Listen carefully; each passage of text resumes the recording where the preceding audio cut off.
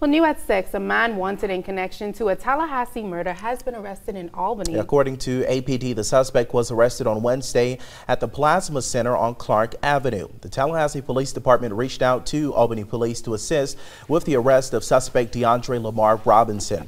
Robinson was wanted in connection to the murder of a woman in Tallahassee who was allegedly stabbed to death. Robinson had warrants prior to the arrest. He is facing charges of aggravated battery, theft by taking, terroristic threats and acts, and more. Robinson is currently in the Dougherty County Jail waiting to be extradited back to Florida. Ashanti?